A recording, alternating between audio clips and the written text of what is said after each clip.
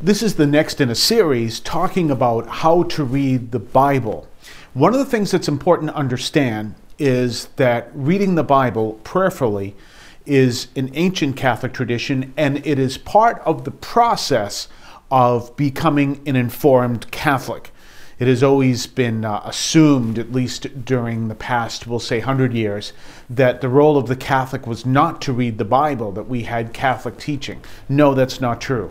We have an important role in reading the Bible. In fact, St. Jerome says ignorance of Scripture is ignorance of Christ. And so it's important for us to know the Bible and know it well, whether we are ordained or a layperson. Now, the process, uh, I've talked about already the tools in the last video. So what I'm going to talk about now is the process itself. So you have the tools, the four color pen, and you have the Bible.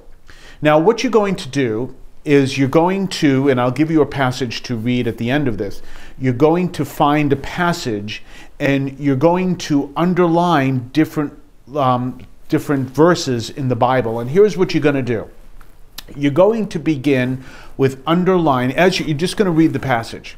And using your four color pen if you see a principle for example god is love that's a principle. It's a simple statement that tells us who god is or tells us a truth. God is love. So if you see a principle underline it in one color i use black now, if you see a command, not a commandment, although that's part of this too, remember what a command is. You learned this probably in the second grade in elementary school. It is a, it is a sentence that has you understood, so the, the, the the subject is understood, so you actually don't see the subject, and then it has the command form of the verb and the predicate.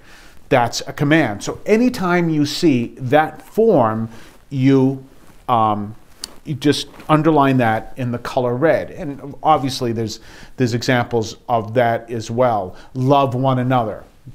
That's a command form. Uh, rejoice in the Lord always. That's a command form. And there's also the uh, third person plural command form, which is let's and let us. Anything that says this is what we need to do, that is the third person plural command form. Underline that in red or whatever color you want to use. I use red. Then we have the third thing, which is promises. I am the resurrection and the life. Whoever believes in me will never die. That's a promise. Anything that says this will happen or, you know, I, uh, I'm going to prepare a place for you. Anything that says, that's from John, this will happen. Because you are faithful, you will experience eternal life. Whatever the case may be, this will happen.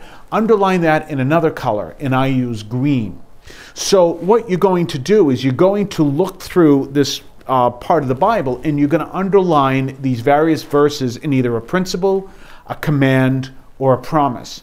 And what you're going to find is by doing this, this verse comes out. It really deepens your ability to see what's in that verse. And one of the reasons for this is when you just see the verse as a bunch of words or see a passage as bunch of words on, on paper, yes, there are important things there, but every single word has a lot to say. So if we divide these into the principles, commands, and promises, now you see it at a deeper level. This was taught to me, by the way, by the Canção Nova community, and it was Father or Monsignor Jonas Abib, who is the founder of Canção Nova, who teaches this.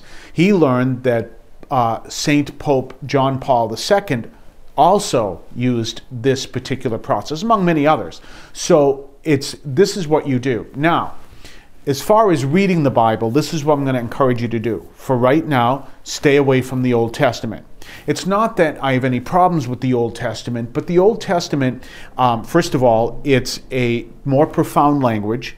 Um, and it also says a lot of things that need to be understood within a larger context. So let's go with the basics, and a lot of the basics you find in the New Testament.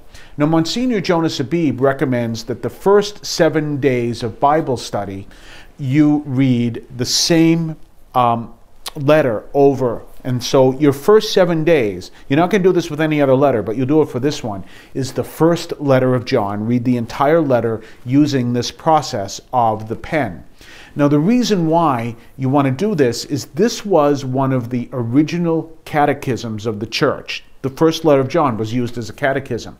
It is so important a letter that it is used as the first reading almost entirely through the uh, Christmas season.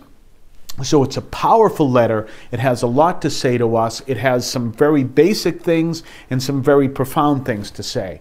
And so that's why, for the first seven days, go through the um, first, uh, go through the entire first letter of John.